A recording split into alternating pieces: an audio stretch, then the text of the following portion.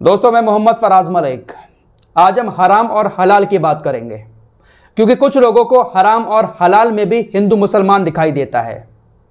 Internet free है, mobile जेब में है तो इंसान अपनी काबिलियत दिखाते हुए हर मामले पर उंगली घुसड़ने की कोशिश करता है और फिर वीडियो वायरल कर देता है। ध्यान से देखिएगा, आखिर तक और शेयर भी करिएगा। एक महाशय का वीडियो सोशल मीडिया पर वायरल हो रहा है। ट्रेन में एक महाशय सफ़र कर रहे हैं। चेहरा इनका नहीं दिख रहा है, बस ट्रेन के स्टाफ का चेहरा दिख रहा है। ट्रेन स्टाफ की तरफ़ से उस शख्स को चाय दी जाती है। चाय का पैकेट जैसे ही उनके हाथ में आता है तो वो अपनी काबिलियत दिखाना शुरू कर देते हैं। ट्रेन के स्टाफ में जो चाय देने आया था, उसको रोक कर कहते हैं कि आप ये हमें हलाल सर्टिफाइड चीज़ें खिला रहे हैं। सावन का महीना चल रहा है, हम अपने घर जाकर पूजा करेंगे और आप हमें हलाल सर्टिफाइड चीज़ें खिला रहे हैं, चाय पिला रहे हैं। रेलवे का कर्मचारी जो चाय लेकर आया था, वो समझाने की कोशिश करता है कि भाई, दुनिया में किसी भी कोने में चले जाओगे, चाय तो शाकाहारी ही होती है। चाय मांसाहारी कब से होने लगी? वो समझाने की कोशिश करता है, लेकिन महाशय अपनी काबिलियत दिखाते हुए कहते हैं कि देखिए, इस पर हलाल सर्टिफाइड लिखा हुआ है। तो ये हलाल है, और हलाल जो है वो सावन के महीने में हमारी पूजा को खराब कर देगी। हमारी धार्मिक आस्था को ठेस पहुँचाने वाली बात है ये। बहुत सारी बातें करते हैं लेकिन ट्रेन का कर्मचारी उन महाशय को यह कहते हुए वापस चला जाता है कि दुनिया के हर कोने में चाय तो शाकाहारी ही मिलती है। अब आप बताएँ क्या आपने कभी मांसाहारी चाय पी है?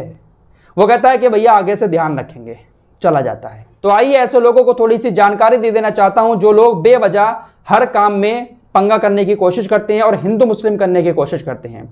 दोस्तों, हमारे देश के अंदर F S S A I जितने भी खाद्य पदार्थ होते हैं, वो F S S A I certified होते हैं। आपने हर खाद्य पदार्थ पर, पैकेट पर लिखा हुआ देखा होगा F S S A I इसके अलावा कुछ चीज़ें हमारे देश के अंदर ऐसी भी हैं, जिन चीज़ों पर हलाल सर्टिफाइड लिखा हुआ होता है। हंड्रेड परसेंट हलाल सर्टिफाइड आपके हाथ में भी ऐसी बहुत सारी चीज़ें आई होंगी, आप दिन में बहुत सारी ऐसी चीज़ें खरीदते होंगे। हल्दीराम्स की नमकीन बहुत सारी बनती हैं आटा बनता है, चावल बनते हैं, बहुत सारी ऐसी चीज़ें हैं, हलाल सर्टिफाइड जिनके ऊपर लिखा हुआ होता है, और इन हलाल सर्टिफाइड चीज़ों को ना केवल मुसलमान खरीदता है, बल्कि हमारे देश के बहुत सारे नॉन मुस्लिम भाई बहन भी खरीदते हैं। F S S A I का सर्टिफिकेट जो है वो सरकार की तरफ़ से दिया गया है। वहीं जो हलाल सर्टिफिकेट है, वो हमारे देश के अंदर कुछ कंपनियाँ हैं Halal India private limited, Halal certification services India private limited, Jamiat Ulamae Maharashtra, Jamiat उलमाए हिंद की एक राज्य इकाई, जमीयत उलमाए हिंद हलाल ट्रस्ट। ये कुछ कंपनियाँ हैं, इनकी तरफ़ से हलाल सर्टिफिकेट कंपनियों को दिया जाता है। अब कंपनियाँ हलाल सर्टिफिकेट लेती क्यों हैं? और हलाल सर्टिफिकेट लेने के बाद वो जो 100 परसेंट हलाल सर्टिफाइड चीज़ें बनाती हैं, उसके अंदर किन चीज़ों को डालती हैं, किन चीज़ों को नहीं डालती हैं? दोस्तों, दुनिया के तकरीबन 24 परसेंट आबादी मुसलमान है। हमारे देश की भी बहुत सारी कंपनियाँ अपने प्रोडक्ट मुस्लिम देशों में भेजती हैं। तो मुस्लिम देशों में हमारे देश से जो भी प्रोडक्ट जाता है, उन प्रोडक्ट्स पर हलाल सर्टिफाइड लिखा हुआ होता है। हालाँकि हमारे देश के अंदर भी बहुत सारी चीज़ें हलाल सर्टिफाइड बिकती हैं।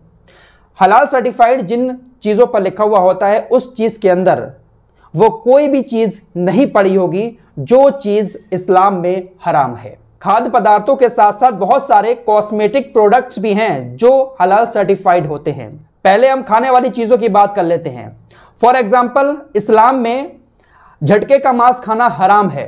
अगर कोई कंपनी कोई ऐसा प्रोडक्ट बना रही है जिसमें मांस का इस्तेमाल किया जा रहा है तो कंपनी अगर उस प्रोडक्ट को मुस्लिम देशों में बेचना चाहती है या मुसलमानों को बेचना चाहती है तो उस पर हलाल सर्टिफाइड लिखा होगा। और हलाल सर्टिफिकेट लिखने का मतलब यह है कि उस प्रोडक्ट के अंदर जो मांस पड़ा है, वो पूरी तरह से हलाल जानवर का है। खाने की कोई भी चीज़ कंपनी की तरफ़ से बनाई गई है और उस पर हलाल सर्टिफिकेशन की मोहर लगी है तो आप ऐसे समझ सकते हैं कि उस प्रोडक्ट के अंदर कोई भी ऐसी हराम चीज़ मौजूद नहीं है जो इस्लाम में हराम है। जैसे शराब की बात कर लेते हैं। परफ्यूम होता है, उसके अंदर अल्कोहल का इस्तेमाल किया जाता है। लेकिन अगर आप हलाल सर्टिफाइड परफ्यूम खरीदेंगे तो उसके अंदर अल्कोहल का इस्तेमाल नहीं किया गया होगा। ऐसे अगर मेकअप के सामान की बात कर लें लिपस्टिक परफ्यूम और बहुत सारी ऐसी चीज़ें हैं, जिसमें सुअर की चर्बी को डाला जाता है। बहुत सारे क्रीम है, जिसमें जानवर की चर्बी को मिलाया जाता है। तो काफ़ी सारी कंपनियाँ हलाल सर्टिफिकेट लेकर इस तरह की चीज़ें बनाती हैं और मुस्लिम देशों में भेजती हैं। और उन प्रोडक्ट्स के अंदर किसी तरह की जानवर की चर्बी या अल्कोहल जैसी चीज़ों का इस्तेमाल नहीं किया गया होता है। सीधे तौर पर अगर समझाऊं तो जो चीज़ें हलाल सर्टिफाइड होती है, उसके अंदर ना तो शराब का इस्तेमाल किया गया होगा, ना ही झटके के गोश्त का इस्तेमाल किया गया होगा, ना ही किसी तरह के खून का इस्तेमाल किया गया होगा, ना ही किसी जानवर की चर्बी का इस्तेमाल किया होगा। अगर आम भाषा में कहूँ तो प्योर शुद्ध शाकाहारी ये प्रोडक्ट होते हैं जिन पर हलाल सर्टिफिकेशन लिखा हुआ होता है। लेकिन कुछ लोगों के सामने जब हराम और हलाल की बात की जाती है तो उनको सीधे तौर पर हिंदू और मुसलमान दिखता है।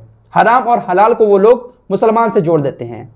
जबकि हराम जो है, वो अरबी का शब्द है, हलाल जो है, वो अरबी का शब्द है। हराम का मतलब होता है इलीगल, अवैध, नाजायज।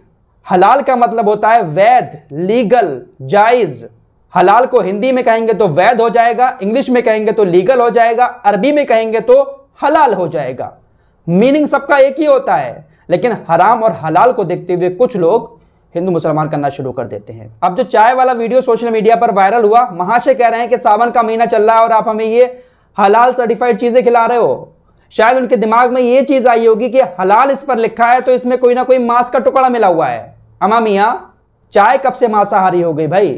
हलाल सर्टिफाइड का मतलब यह है कि इस चाय के अंदर कोई भी ऐसी गलत चीज़ नहीं मिली है, जिस चीज़ का इस्तेमाल इस्लाम में हराम बताया गया है। अब सावन का महीना चल रहा है, हमारे हिंदू भाई मांस से दूर रहते हैं, मछली अंडे से दूर रहते हैं, शराब से दूर रहते हैं तो ये तो अच्छी बात है कि हलाल सर्टिफाइड चीज़ें उनको दी जा रही हैं।